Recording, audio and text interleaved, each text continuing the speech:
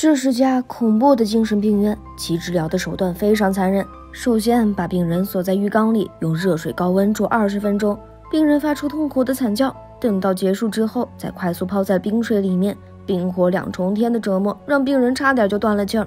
可一旁的护士长却说，他的精神病马上就可以被治好了。更让人感到恐惧的是，这只是其中一种方法。面对躁狂症、健忘症，甚至还有青少年注意力分散症，院长都会亲自动手进行额叶切除手术。首先使用医疗机械在脑袋上面开两个洞，然后掏空大脑的额叶。或用冰锥对准眼眶，然后用锤子用力敲击，直接捣碎大脑的额叶。一场手术下来之后，病人果然变得安静了。不过他现在的状态，精神呆滞，神情漠然，已经完全的失去思想，成为一具行走的空壳。可就是这样一家几乎恐怖到变态的精神病院，这个女人却从非常远的地方开车过来参加面试，应聘这里的护士工作。她的身上究竟藏着什么秘密呢？女人的名字叫拉基特，为了好记，我们叫她小拉。她穿着偷来的高档礼服，走进了这家精神病院，并告诉前台自己的来意。很快，护士长就接待了她，可对方的态度很强势。Where did you get this？我们从来都没有发送过任何面试邀请，而且目前医院里也没有空缺的岗位。更重要的是，院长办事儿还没有回来。说着就要请小拉离开。Prefer to wait here. I have nowhere else to be. 见小拉的态度坚决，他也只能生气的离开。而此时的院长正在州长的办公室外。医院最近资金周转不开，他希望能得到政府的资助，可一连三个月连州长的面都没见到，他也只能无奈的离开，来到附近的酒吧消愁。却好巧不巧的遇到了来喝酒的州长。院长抓住了这次的机会，向对方推荐自己的医院，可州长完全不感兴趣，粗鲁的打断他的介绍，然后直接下了逐客令。院长只能不甘心的离开，可是他走得太快了，没有注意到州长秘书投来了感兴趣的眼神儿。Interesting。而等在大厅里的小拉一直被迫接受着其他人探究着的目光，难免也有一些不自在，于是借口来到卫生间，拿出口红敷衍的补妆，却意外撞见了金发护士偷吃的场景。他并没有声张，只是默默地离开这里。正巧这个时候，生了一肚子气的院长郁闷地回到医院里面。护士长走过来，跟他说了小拉的事情。对方执意要参加面试，满腔的怒火似乎在这时找到了发泄口。院长气冲冲地走出门，可是小拉却先发制人：“我知道您的工作重要，但我的时间也很宝贵。如果现在能面试的话，我就会原谅您的无礼。” Your office is this way?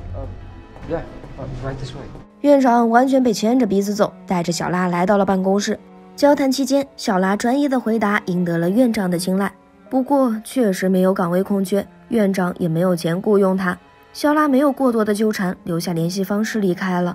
不过，来到大厅时，却顺走金发护士的钱包。他根据名片上的地址找到了金发护士的家。原来他已经结婚了，还有个可爱的女儿。小拉顿时就有了主意，他把金发护士约出来。What is it you want? Your job. 她让护士从医院离职，否则就把出轨的事情告诉她的丈夫和家人，她的女儿也会有危险。护士只能无奈的同意。正巧当天晚上，州长秘书来到医院。Your hospital being the cornerstone of the governor's re-election campaign. 你的医院，你大胆的想法，这些都会让选民们对州长产生全新认识。But as a forward-thinking progressive. 听见州长秘书的话，院长立马欣喜的同意。第二天，州长来到医院里视察，院长做好了十足准备，可金发护士没有来，还有两个护士休假了，医院里的人手不够。院长立刻就想到小拉，打电话让他过来救场。小拉换上了护士服，并趁着给病人发药时偷偷调换病人的药片，导致病人当场发作，倒在地上不停的抽搐。这时，小拉及时出现，用专业的手法治好休克过去的病人，在州长面前出尽风头，博取了留下来的可能。但仅凭这些是不够的。趁着空闲的机会，小拉找到一个男病人，他患有重度的抑郁症。小拉直接怂恿他去自杀。院长桌子上有把开信刀，你知道该怎么做的。结果就是院长打开门，发现了男病人的尸体，他的情绪瞬间崩溃了。今天是重要的日子，一定不能出任何差错。他急得满头都是汗。小拉在旁边安慰院长：“I will take care of this。”其实早在第一天面试，小拉就发现了院长患有躁郁症，需要靠吃药来维持，所以他故意用男病人引诱院长的躁郁症发作，然后再获取对方的信任，终于成功的留了下来。但这不是他的最终目的。趁着半夜没人的时候，小拉来到医院的地牢，里面关押着一个犯人，他残忍杀掉四个牧师。据说他的生母是修女，在被主教抛弃的时候就已经怀有了身孕，之后更是死在妓院里，孩子也被送进孤儿院。可却受尽了欺辱，所以男人长大之后便找到了主教复仇，而另外三个牧师只是无辜的牵连者。由于手法极其残忍，引起了民众的愤怒，纷纷请求判处男人死刑。但根据法律程序，男人必须先在医院里接受精神病的评估，如果检测出是正常人，就会被立即判处死刑；反之，则会逃过一劫。而小拉正是他的姐姐，两个人从小就失散了。他混进医院的目的，就是要帮助弟弟伪造成精神病患者，以便逃过法律的制裁。You're not going to die, promise. 但弟弟的看管很严，吃饭洗澡都有人监督。小拉只能找各种机会给弟弟送去情报。但是在这起案件当中，还有一个幸存的牧师，他当时躲在床下，目睹了发生的一切，而他的证词将会对弟弟构成最大的威胁。小拉找到他的地址。并伪装成虔诚的教徒，一步步获取对方信任。牧师毫无防备地跟着小拉来到了酒店，在喝了加料的茶水后，便直接昏了过去。等他再醒过来的时候，自己已经被绑在床上。小拉正在床边看着他。Father, Edmund Tellison is my brother. 他并非生下来就是恶魔，而是被逼成那样的。我不能看着他去送死。说着，他拿出了冰锥，对准了牧师的眼眶。这是他跟院长学会的，只要一锤敲下去，就会直接击穿脑前叶，二人基本上就算废了。牧师就像行尸走肉一般，再也没办法出庭作证了。最大的威胁被解除了，小拉急匆匆地赶回医院，可弟弟那边并不顺利。虽然他按姐姐的方法用力地扮演着精神病人，但表演痕迹太过严重，被院长一眼就看穿了。They're somewhat too prototypical, actually. So perfectly presented, they actually strain credulity. 我不相信你有精神病。